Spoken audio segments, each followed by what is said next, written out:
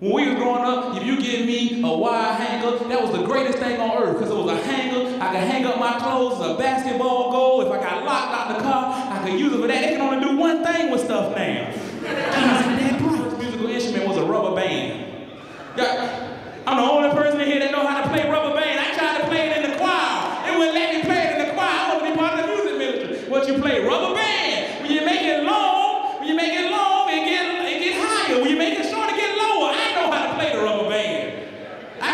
Play a on the rubber band. Some of y'all need to get y'all life right. Y'all was a little privileged. It's all right. Loving your children and raise them.